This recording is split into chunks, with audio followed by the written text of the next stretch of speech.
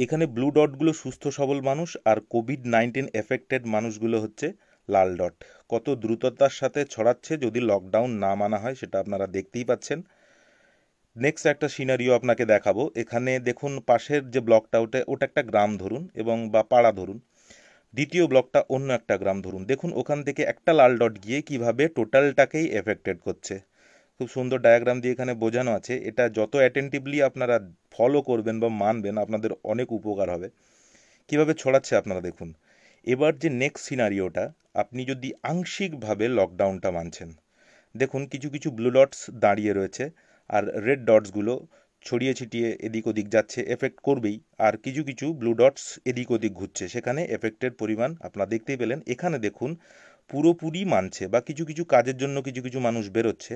এখানে দেখুন spread out হওয়ার যে যে গতিটা, সেটা কিন্তু অনেকটাই কম। যারা লকডাউন সম্বন্ধে বুঝতে চাইছে না বা বোঝার কোনো চেষ্টাই করছে না, তাদেরকে এই ডায়াগ্রাম দেখিয়ে আপনি বোঝাতে পারেন। দরকার পড়লে তাদেরকে সমস্ত ইনফরমেশন নিজে থেকে নিজের দায়িত্বে শেয়ার করুন, কারণ এটা মানব জাতির জন্য একটা অশুভ দিক।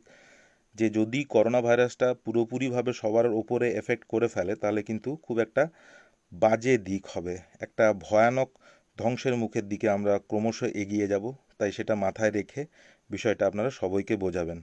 ধন্যবাদ।